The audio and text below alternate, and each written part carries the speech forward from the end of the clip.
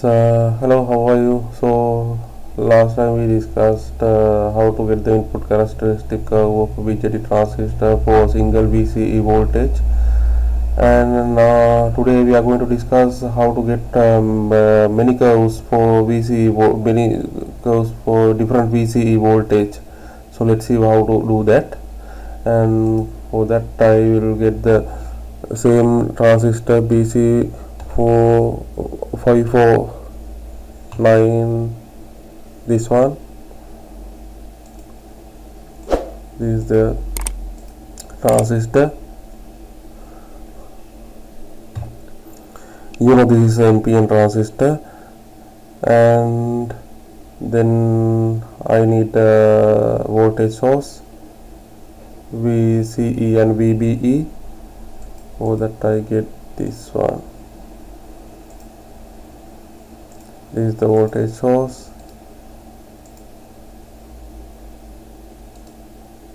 Uh, just drag just up and when maximize it you can see it clearly.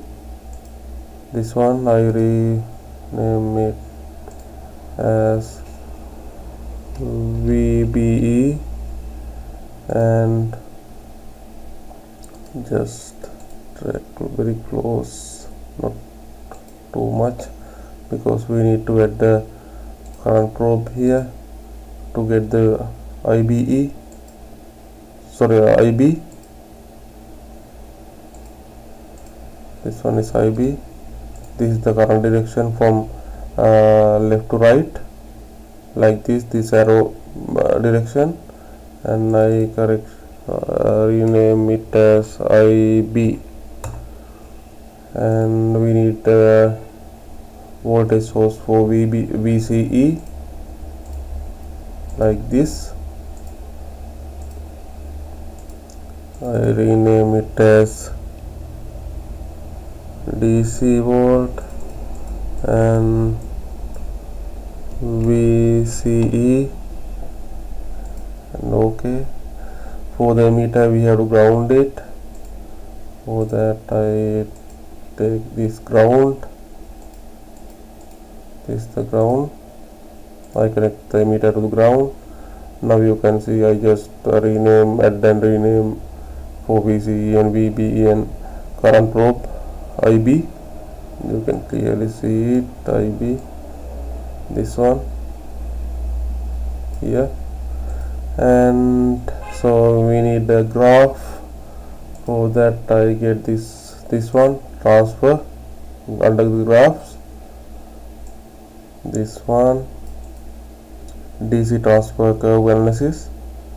Just drag it here and I select this whole graph. Sorry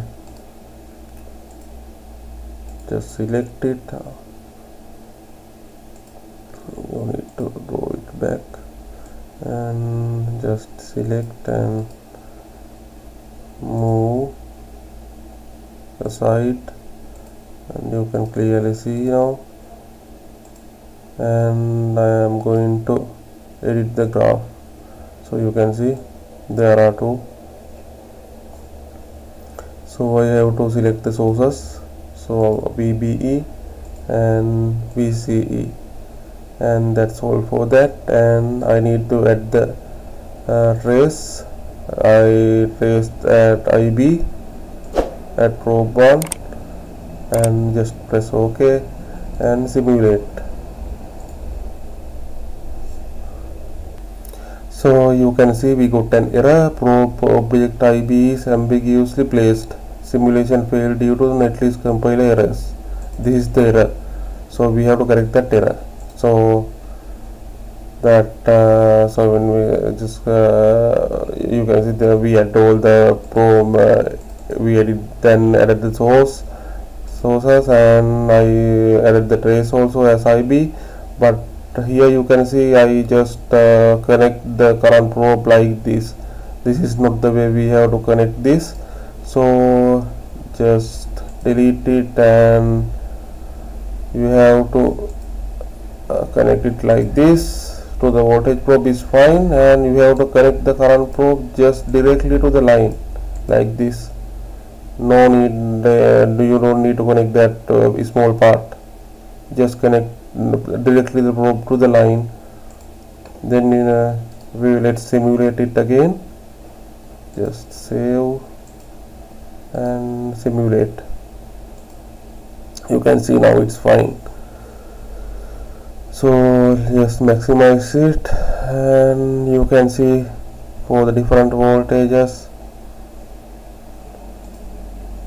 For VCE 0 you can see IB IB is micro ampere 802 and this VCE milliampere VCE millivolt 100 uh, I maximize it by scrolling it this for 0 VCE this was VCE 100 milli ampere millivolt and this for the 200 millivolt and this was 300 millivolt and this was 400 and this for the 500 millivolt.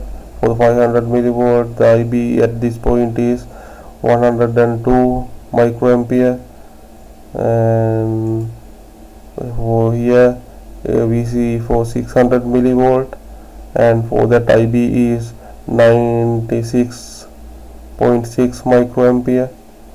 And these are different values for different VC, VCE you can see for VCE 1 volt at this point IB is uh, 141 microampere. VBE is 776.1 millivolt you can see when I uh, drag this line the IB and VBE is changed according to those points for single VCE voltage. This is the input characteristic for, for different VCE values for BJT transistor. We select the BJT transistor as BC549 transistor. I think you can understand what I did and to get the uh, DC transfer characteristic for BJT input characteristic. How to use this DC transfer curve and restore. And you can see if you want to uh, export the graph you can export the graph like this. Just add some uh, name and it save as a data file.